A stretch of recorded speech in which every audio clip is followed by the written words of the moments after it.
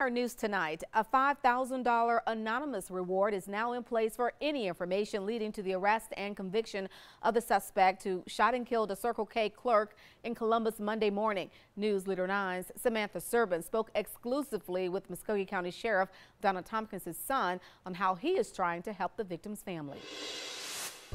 Jared Tompkins and his family knew Dontrell Williams for more than a decade. In fact, they even had Christmas dinner together one year. Now Jared Tompkins is trying to raise money so his best friend's family doesn't have anything to worry about. I just want to bury my best friend the way that he deserves. Burial plans are in the works for 26-year-old Dontrell Williams. Known as Trell by those who loved him, he was shot and killed while working overnight at Circle K on the corner of Forest and Floyd Roads around 3 Monday morning. He left the country club to take this job so he could go he could finish school. A Columbus State University student studying marketing and a former U.S. soldier. The tentative plans are for Williams to be laid to rest at Fort Mitchell National Cemetery. Jared Tompkins met Williams while in high school.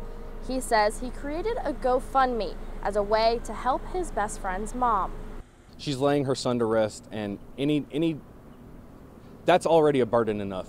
I don't want her to end up having to, you know, try to find a way to be able to afford to do that. I, I want us and the community to to be able to take care of that one thing for her. And if we can do that, then maybe we can make a little difference.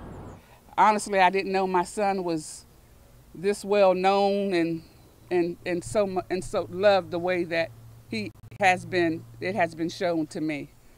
A $5,000 reward is now being offered for any information leading to the arrest and conviction of the person who took Williams' life.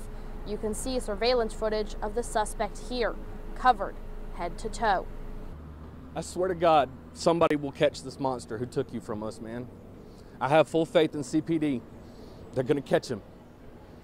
And you're going to get the justice you deserve, baby bro. I promise. And I love you. To really put into perspective just how much Williams meant to Tompkins, Tompkins says he's going to be naming his firstborn son after his best friend. Reporting in Columbus, Samantha Serbin for News Leader 9.